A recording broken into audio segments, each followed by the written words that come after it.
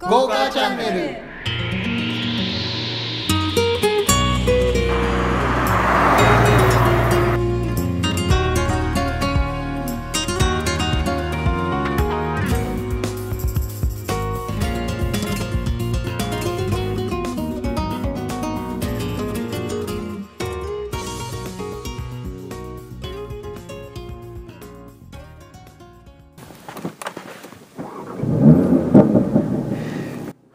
アウディの TTRS です、えーエンジンのスタートはここについていますね。まさにこれは R8 と同じような印象ですし、えードライブセレクトのスイッチもこのステアリングについているということでいちいちこうこっちの方探さなきゃいけないっていうようなことがないのもいいところだと思います。まあ今聞いていただいた通りエンジン音はかなり勇ましいところですね。エンジンを始動した時は勇ましいです。で、えーこのメーターはあー例のバーチャルコクピットというようなものになっておりまして、えーここで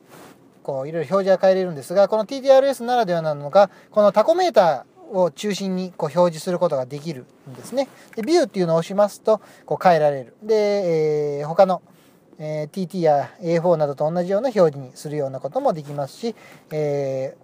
オーディオの表示にしたり、えーもちろんナビゲーションの表示にもすることができます。で今はこれ、え Google Earth ですね、え航空写真をしたものにしてありますけれどもこれも、えー、随分前にこの豪華チャンネルでもご説明しましたが、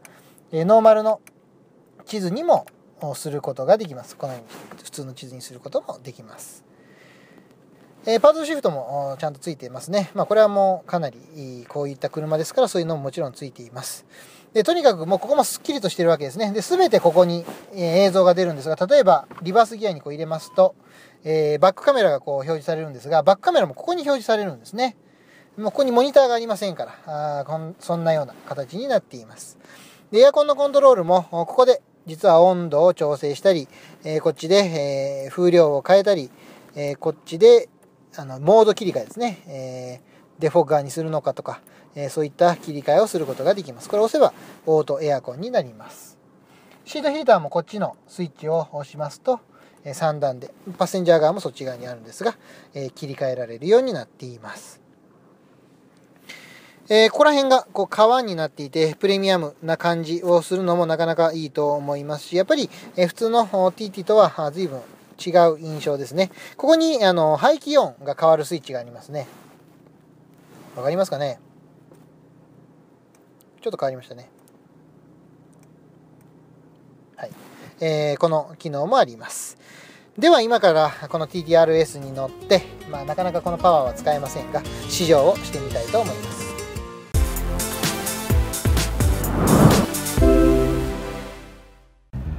はい、えーオートプラネットの中からあ気になる私が気になる1台をご紹介するプラネットチョイス略してプラチョイのコーナーですけれども、えー今回はこのメルセデスの C クラス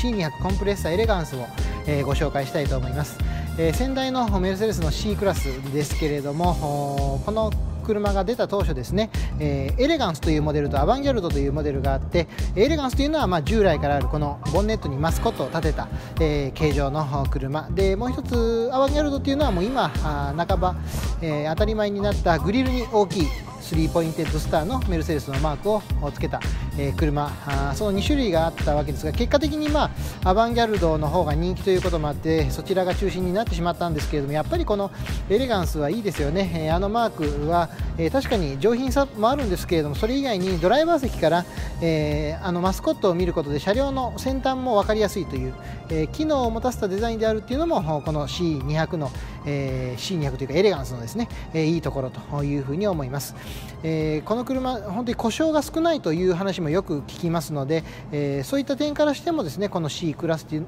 この W204 型の C クラスというのは、えー結構名車とも言える1台かなというふうに思います、えー今回のプラチョイはメルセデスの C200 コンプレッサーエレガンスでした。